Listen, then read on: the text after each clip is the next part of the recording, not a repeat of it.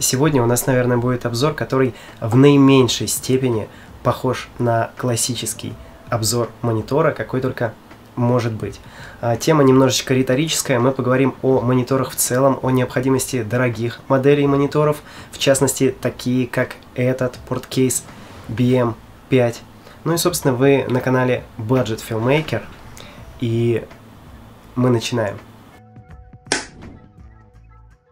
И если говорить конкретно про эту модель, то рассказать все его фичи я могу буквально за одну минуту. Да, поддержка лутов. Да, есть, наверное, самая главная функция, которая может быть в мониторах, False Color. И да, также у нас есть замечательная waveforma, фокус пикинг и прочие мелочи, какие только могут быть. Но, на мой взгляд, самое главное, хотя это уже есть практически везде, это, как я уже сказал, false color и наличие вот этой самой waveформы, которая здесь кастомизируется просто любым удобным для вас способом. Ну и, конечно же, поддержка встраиваемых лутов, то есть вот изображение без лута и вот наша гибрид лог гамма. Ну и, конечно же, в частности, данный монитор имеет огромную яркость 2200 нит, и вот эта минимальная яркость, средняя и максимальная. Он яркий, что просто, ну, очень яркий. Я покажу вам здесь кадр, как он работает на абсолютно ярком солнце без каких-либо козырьков. Но вы скажете, come on, это все общие фразы, это есть в любом дешевом мониторе за 10 тысяч рублей в наше время уже, и этот монитор совсем не про это. Да, теперь к особенностям непосредственно его. Безусловно, он хорош и как просто отличный монитор с большой яркостью, с удобными функциями и с отличной, просто прекрасной картинкой. Но помимо этого он собран, как вы видите, просто абсолютный металл, все вот в таких вот ребрах, охлаждение. При этом в нем работает кулер, который имеет три уровня громкости, минимальная, три уровня мощности, минимальная, средняя и максимальная. На максимальной он гудит очень сильно в тихом помещении. Снимать вы с ним точно не сможете. Из особенностей у нас есть SDI, вход и выход. HDMI у нас только вход, выхода HDMI нет, то есть сквозной сигнал вы можете пустить только через SDI. И самое главное, почему он называется BM5? Да потому что к нему есть дополнительный модуль, который позволяет нам управлять камерами Blackmagic. И тут сразу поправочка, не только камерами Blackmagic, но и такими камерами, как Zcam, то есть вот такими компактными кино бюджетными решениями, назовем их так. И самая главная фича, да, в нем есть все удобные функции. Все, что я перечислил, плюс огромная яркость, все, монитор, то есть лишен каких-либо вот недостатков бюджетных моделей полностью. Но 36 тысяч рублей. Вы должны понять, что это за сумма. Столько стоит а, монитор Atomos Shinobi. Буквально там на 20, ну, какой на 20, уже положа руку на сердце, вдвое дороже стоит Atomos Ninja 5 и, короче, вы должны прийти к пониманию того, что данный моник вы не должны покупать вот для таких камер, как, например, Соньки, на которой я сейчас снимаю. Я его взял на обзор просто потому, что был кризис, было скучно, грустно, нечего было взять, и он был в магазине, и я говорю, почему бы нет? Я просто посмотрю, что это за моник. Но для Sonic он их не раскроет в полной мере. То есть для таких камер, как Sony, наверное, гораздо лучше и правильнее было бы купить уже сразу рекордер, раз, раз ты тратишь такие огромные бабки на дисплей, а там еще и будет какая-то отдельная запись. Здесь же это просто монитор, но, опять-таки, для таких камер, как Blackmagic и Zcam, он через провод может полностью брать на себя управление данной камерой.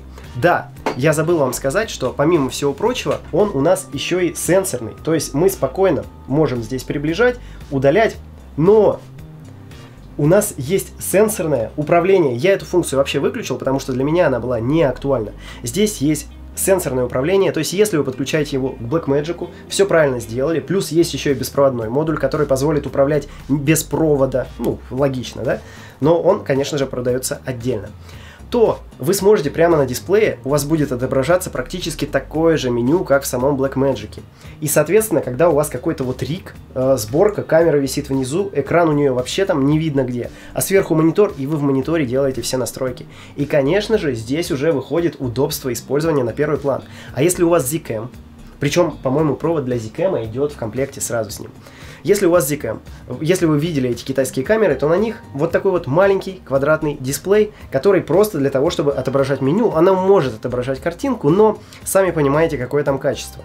Так вот, Опять-таки, этот монитор может в полной мере управлять камерой Zcam, и я думаю, что он должен идти просто китом к ней, потому что это как часть камеры, потому что вы его подключаете, на сенсорном экране у вас полностью управление камерой, и это вам развязывает руки, вы можете снимать. И опять-таки, для таких же камер, как Blackmagic и Zcam, им не нужны рекордеры, поэтому даже не стоит вопрос, купить такой моник или Atomos Ninja 5 для вашего Blackmagic, потому что они сами пишут ProRes, пишут RAW, и рекордер им просто не нужен. В нем нет необходимости, это вообще, то есть для таких камер рекордеры не покупают.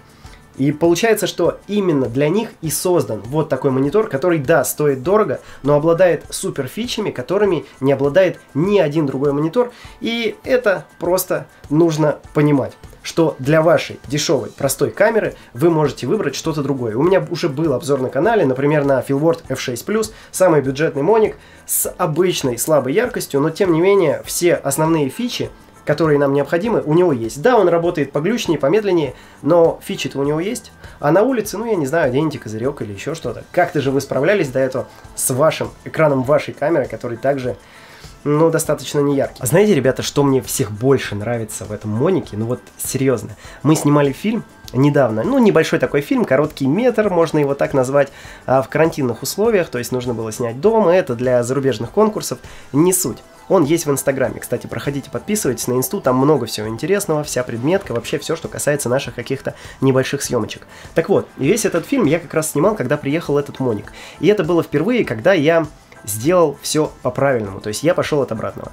Я сел в DaVinci, снял пару а, тестовых шотов, накинул на них, я снимал гибрид логами, накинул на них сначала а, преобразование цветового пространства и затем тонировочный лутец. Просто подобрал заранее тот, который я бы хотел видеть в этом, будем говорить, фильме, да?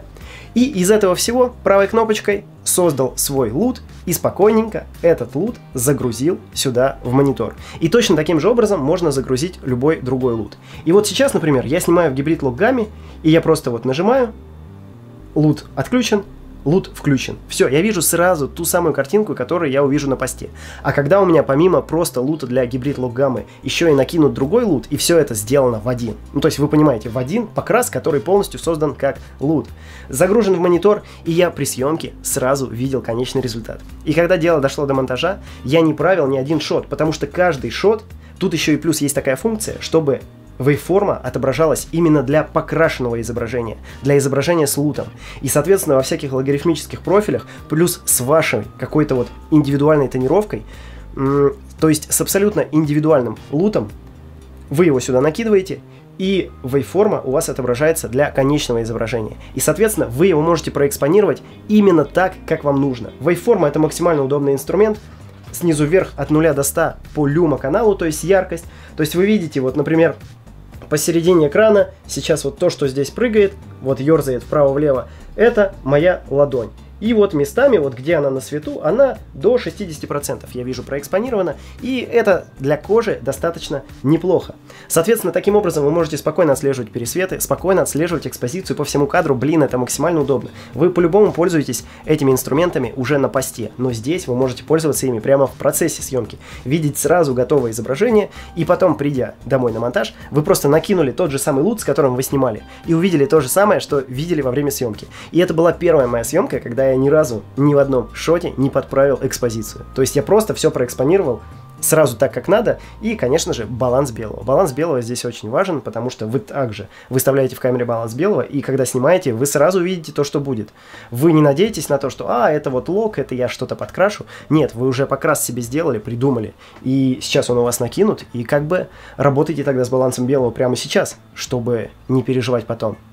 И это самое главное, что бы я хотел донести, это самая главная фича, которой вообще следует, на мой взгляд, пользоваться в накамерных мониторах. Ну и плюс для тех камер, у кого проблемы с автофокусировкой, конечно же, детализация, несмотря на то, что он 5,2 дюйма, то есть, по сути, маленький, детализация такая огромная, что ощущение, что это какой-то, я не знаю, там, 6К маленький дисплей, то есть, э, ну, он просто супер детализированный, плюс мы можем вот так вот сделать и понять, что вот мой фейс сейчас, в принципе, наверное, в норме.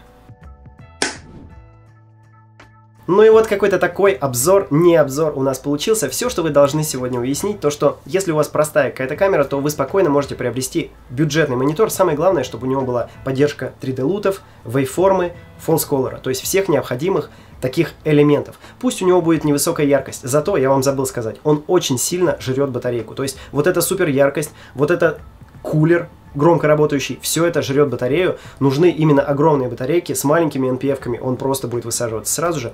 Поэтому об этом тоже стоит заботиться. И вот какой-то простой филворд, там, бюджетный, у которого яркость 450 нит, он не будет так жрать батарею, и вам будет гораздо с ним проще. Соответственно, выбираем что-то из этого. Их сейчас на рынке, благо, огромное множество. Опять-таки, спасибо за предоставленный Моник магазину Kremlin Store. Проходите по ссылочке в описании, там у них есть куча других моделей, как раз из бюджетных можете выбрать. Но если у вас камера Blackmagic, или вы уже откуда-то из-за бугра достали Zcam, то вы, скорее всего, уже все знаете, не смотрите этот обзор и уже давно себе приобрели что-то из семейства вот данных мониторов, потому что, насколько я знаю, он не один. Есть еще 7-дюймовая модель и, возможно, есть еще какие-то. В общем-то, как-то так, такой интересный девайс, я подумал, что все равно нужно о нем рассказать, ну и в целом пофилософствовать на тему мониторов и моего опыта их эксплуатации, потому как раньше я их вообще не использовал, и по сей день считаю, что для свадебной или какой-то репортажной съемки он вовсе не нужен, он будет только нагружать вас и какие-то вот излишние требования к вам предъявлять. А если же вы снимаете что-то выверенное, короткий метр 100%, какая-то реклама, либо предметка 100%, тогда да, мониторы позволят вам просто вывести качество вашего изображения на новый уровень и уменьшить процент брака во время съемки.